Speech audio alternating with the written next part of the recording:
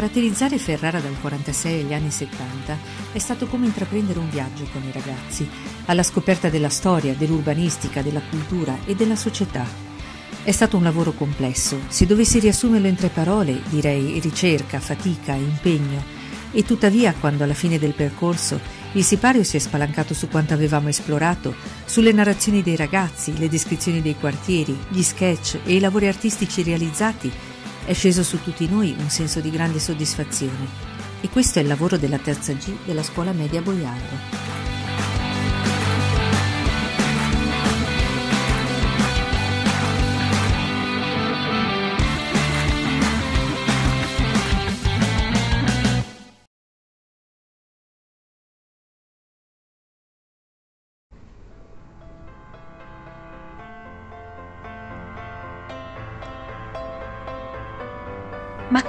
Sarebbe costruire una città per davvero?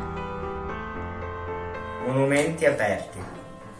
Salve a tutti, oggi parleremo della storia di Ferrara, che va dal 1945 al 1960. Partiamo.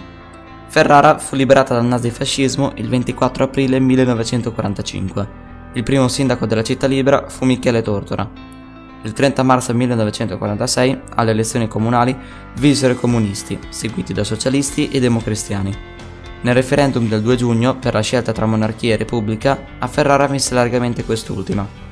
Ferrara in quegli anni era molto povera. A questa situazione già disastrata si aggiunsero poi ulteriori disastri naturali. Tra il 1949 e il 1951 strariparono più volte il Reno e poi il Po, con la peggiore alluvione dell'epoca contemporanea, la famosa rotta del Polesine. A Ferrara era tempo di ricostruire, si rifece com'era e dov'era la chiesa di San Benedetto. Marcello Piacentini ricostruì il Palazzo della Ragione, mentre su Viale Cavour sorsero imponenti edifici multipiano. Tra il 1958 e il 1963 venne costruito il quartiere di abitazioni popolari Ina Casa del Barco, che, grazie a una saggia distribuzione di spazi architettonici, divenne il simbolo di un tentativo di urbanistica a misura d'uomo. Fu ricostruita la zona industriale, pesantemente danneggiata dai bombardamenti, nella zona tra il Dore e Ponte Lago Scuro, il cui principale polo era la Montecatini, poi Monte Edison, fabbrica petrolchimica tra le più importanti d'Italia che occupava migliaia di lavoratori. In quegli anni inizia la collaborazione con un brillante chimico ligure, Giulio Natta, che inventò la molecola di polipropilene. Viene realizzato per esempio il Moplen per la produzione di oggetti in plastica di varia natura, Intanto, imponenti opere di bonifica ripararono i danni causati dall'abbandono del territorio durante la guerra e dagli allagamenti dovuti alle alluvioni. Ma com'era la società ferrarese in quegli anni? La società ferrarese sta radicalmente cambiando, la scolarizzazione è più elevata e la divisione in ceti sociali molto più sfumata. Sono anche migliorate le condizioni di vita delle donne, che nel 1946 avevano votato per la prima volta come nel resto d'Italia,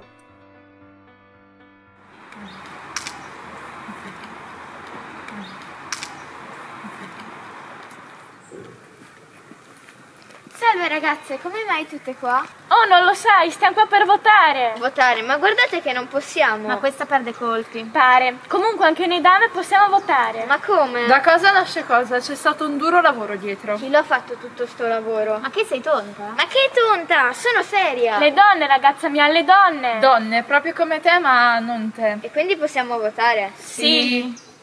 E chi votate? Eh, non possiamo mica dirtelo. Ma voi chi votate? Repubblica tu? Ehi, aspettatemi!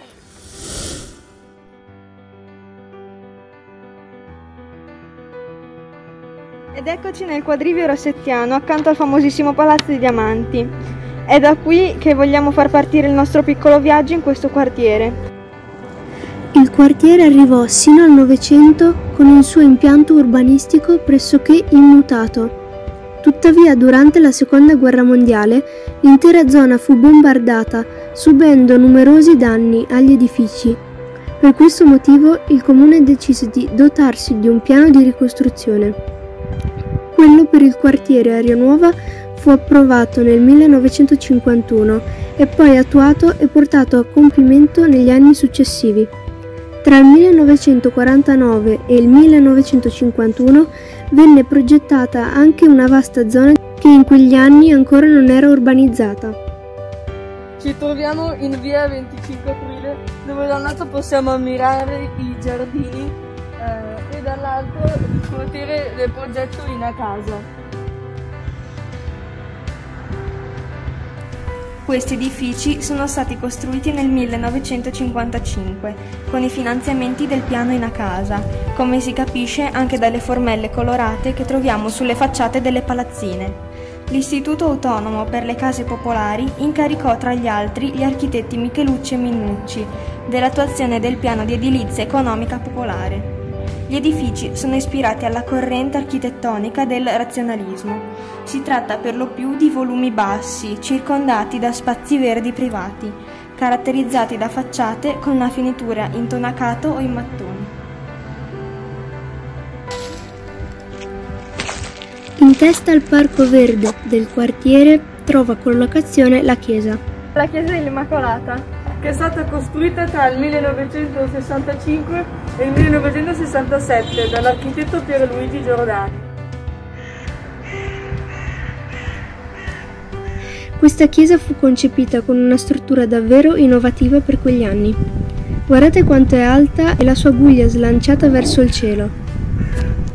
Ci troviamo in un parco molto, molto affollato, ovviamente affollato dalle foglie, ma negli anni 60 sarebbe stato pieno di ragazzi. Qui termina il nostro giro in questo quartiere. Eh, speriamo di avervi incuriositi con il nostro racconto. Ci vedi il video.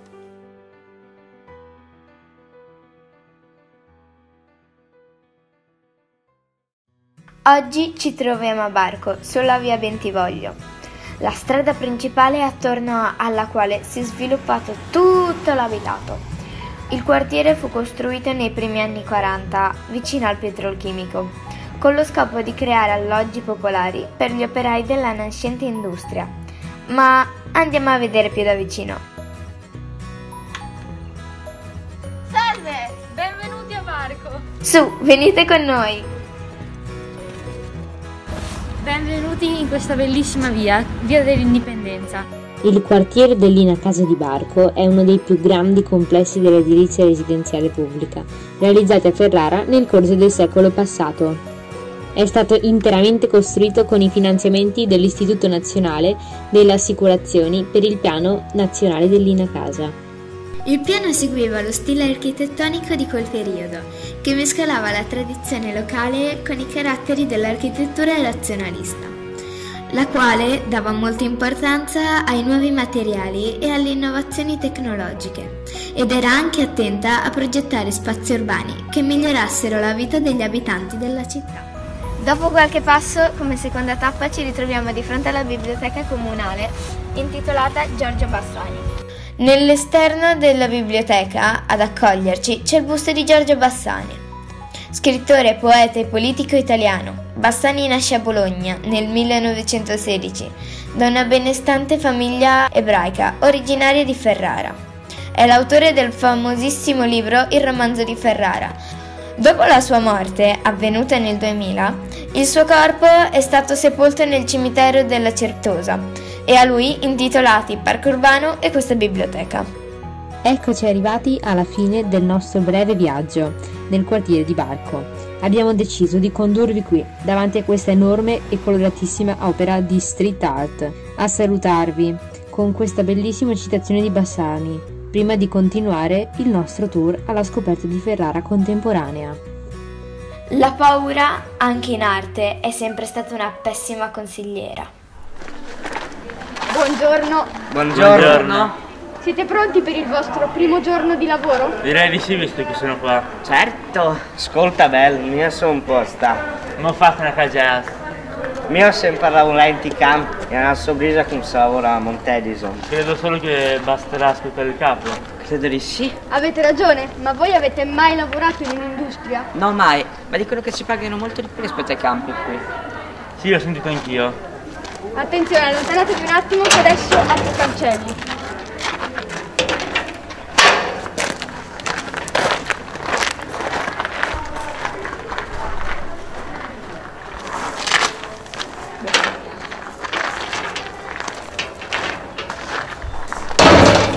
Vestiti e usanze anni 60.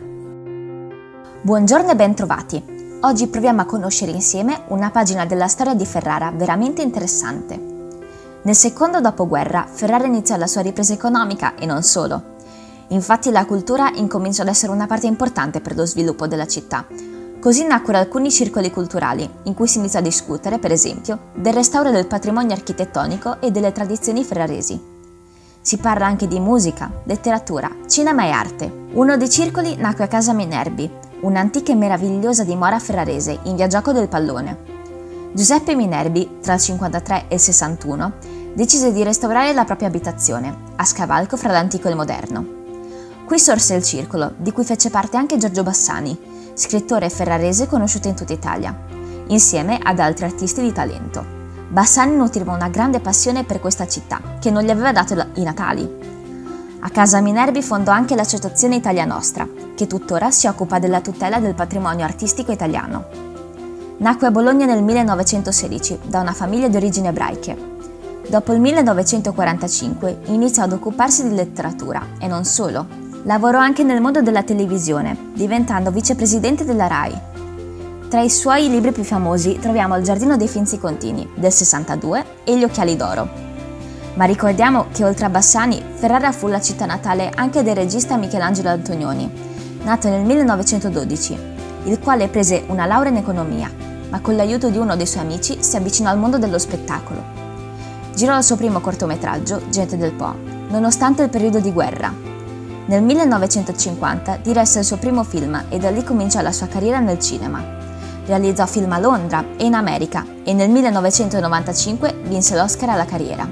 Ma in questa fervente città nacque anche un altro grande artista del Novecento, Florestano Vancini.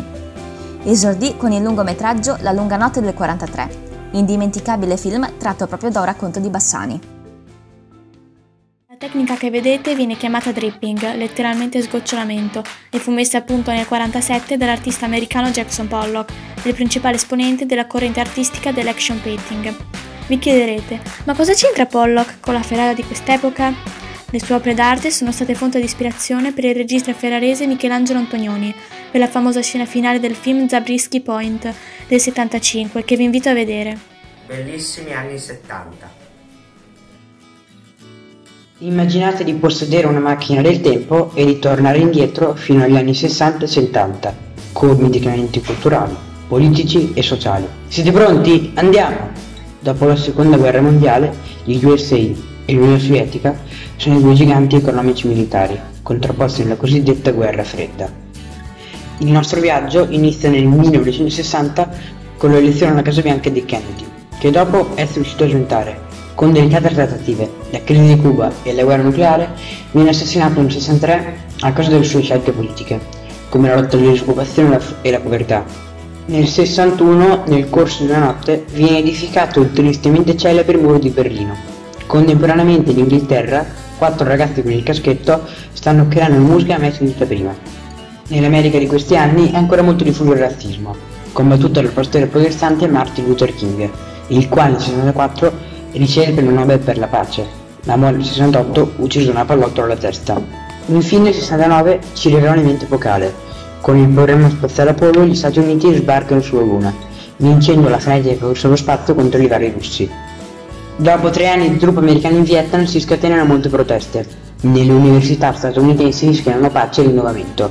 Le contestazioni si spostano rapidamente in tutto il mondo, fino all'Europa sovietica, dove la primavera di Praga viene brutalmente repressa. Questo fenomeno di grande sollevazione sociale è noto come 68, dall'anno in cui raggiunto il suo apice. Ma nel frattempo, che cosa sta succedendo in Italia? Siamo ormai negli anni 70. Come effetto della rivoluzione culturale si ottengono importanti riforme, la legge sul divorzio, l'abbassamento a 18 anni del voto e la parità tra i coniugi. Purtroppo sono anche gli anni di piombo. Con la strage di Piazza Fontana e rapidamente uccisione da parte dei Brigate Rosse di Aldo Moro, questi tristi eventi sfociano un compromesso storico, ma è a questo punto che ci dobbiamo salutare, perché la macchina del tempo è giunta al termine del suo viaggio.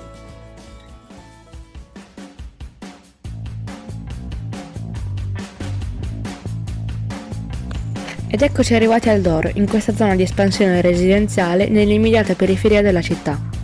Il territorio è interamente attraversato dalla trafficata strada statale 16, individuabile nelle vie cittadine denominate Via Le Po e Via Padova, arterie stradali fondamentali. Anche quest'area della città è stata progettata e costruita a servizio dei lavoratori della vicina zona industriale per offrire alloggi a prezzi contenuti.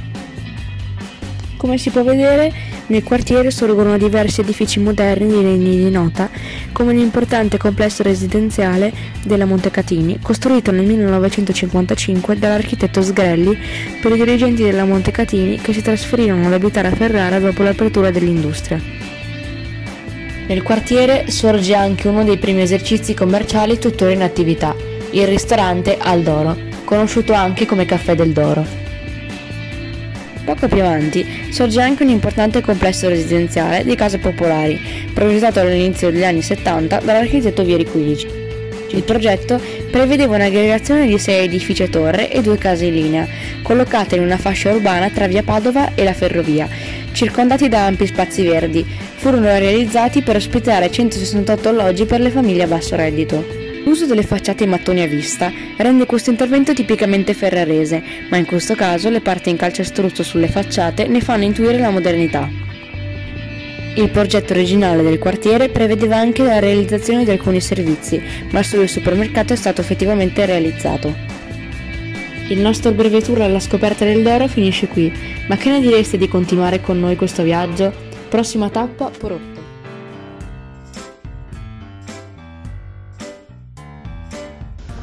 Frazione di Porotto è collegata al centro cittadino da questa bella pista ciclabile, che oggi noi abbiamo percorso per portarvi a vedere questa parte del nostro territorio. Andiamo! Questa zona era per lo più disabitata fino agli anni 50, quando grazie alla crescita urbanistica di Ferrara, l'abitato della città si è espanso anche nei territori limitrofi, arrivando sino a Porotto. Negli anni 50 questa era una zona di campagna, poi iniziarono a sorgere le prime case fino ad arrivare alla via che possiamo percorrere adesso. Qui abitavano principalmente famiglie del ceto medio e operai che lavoravano alla Montedison. Siamo davanti alla scuola dedicata al maestro Adriano Franceschini e laggiù c'è la sua lapide commemorativa. Adriano Franceschini è stato un eh, maestro che ha insegnato per molti anni in questa scuola, affiancando a tale attività quella di studioso e ricercatore storico. Per chi ancora non lo conoscesse, Adriano Franceschini è stato uno storico che si è interessato particolarmente alle vicine locali di Ferrara e anche a quelle di Porotto, pubblicando saggi sul ghetto ebraico, sui commerci e sulla vita medievale e rinascimentale interessanti da leggere. Il nostro tour fa tappa all'asilo nido del ciliegio, inaugurato negli anni 70 per far fronte al boom demografico che si ebbe a Ferrara in quegli anni.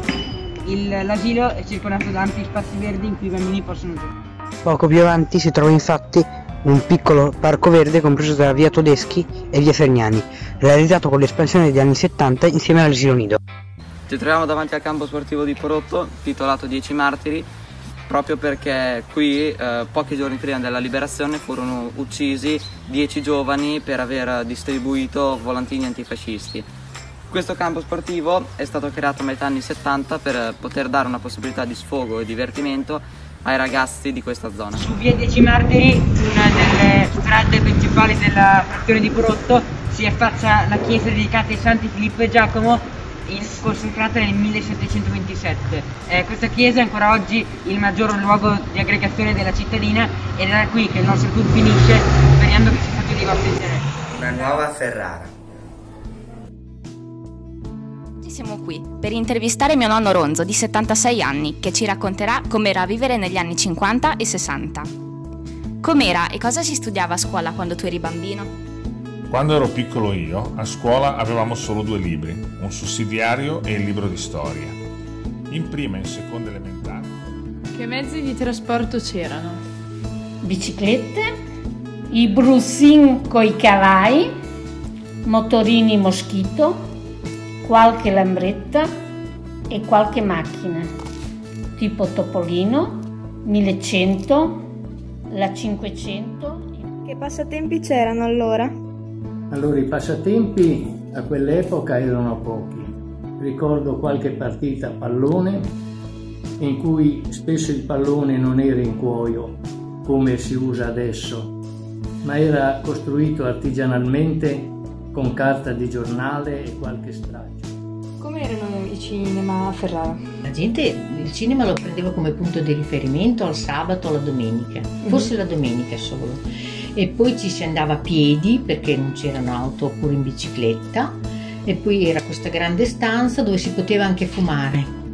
C'erano una decina di sale cinematografiche eh, tipo Apollo, Apollino, Il Verdi, l'Astra, Capitol e altri di cui non ricordo il nome. Ma in quegli anni sono stati modernizzati anche i lidi. Beh, non si può nascondere che la provincia ha attrezzato alcune decorose spiagge che richiamano ospiti in visita. Cosa ti è rimasto impresso di quegli anni? Mi è rimasto impressa la moda, mi, piacevano, mi piaceva molto, mi piace anche adesso la moda di quegli anni, anche se ero piccoletta portavo le minigonne, e i pantaloni a zampa di elefante e piaceva molto anche la Ciao Alessio! Ciao Francesco, come stai? Ma sai, molto bene, ho fatto il mio primo viaggio in seggiovia. Sei andato in montagna vestito così? No, al mare, al lido di Spina. Come al mare? Quelle stanno in montagna. È vero che tu non viaggi molto. C'è una seggiovia pure là. Il vescovo ha deciso di inaugurare questa seggiovia, così ho voluto fare un giro. Ah, davvero? Com'è stata? È molto divertente, tranne il fatto che sono quasi caduto. Beh, ti stai visto che ti viene a vantare con me. È vero che sono un poveretto. Chi sarebbe il poveretto? Tu sei un poveretto.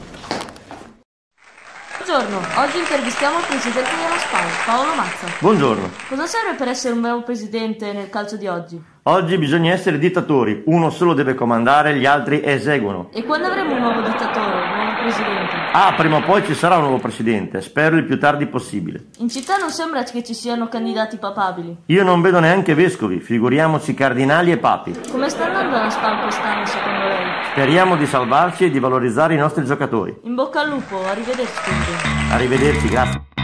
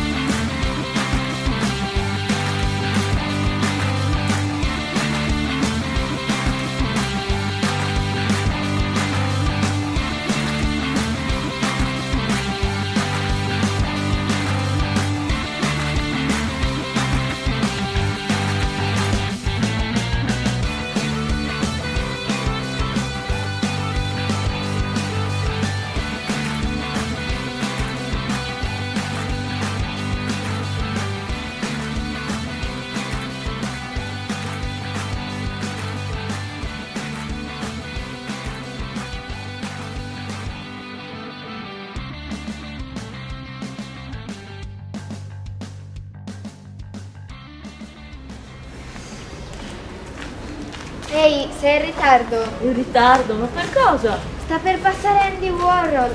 Sta andando nel suo hotel, l'Hotel Astra. Andy chi? No, non lo conosco. Sono qua dalle sette e tre quarti. Ma tu sei pazza, perché è così famoso? Hai presente Marilyn, Marilyn Monroe? Sì, non dirmi che è stato lui a ucciderla, perché se no si prepari a prendere calci nel sedere. Ma no, non è stato lui. Hai presente il quadro di Marilyn? Eh, quello che sembra un po' un fumetto? Certo, allora? L'ha fatto lui. Davvero? E come mai è qua a Ferrara? Il collezionista Franco Farina ha inaugurato una mostra e lo ha invitato. Wow, allora è proprio un onore averlo. wow. Eh già. Dai, smettiamo di fantasticare, andiamo. Sì, andiamo.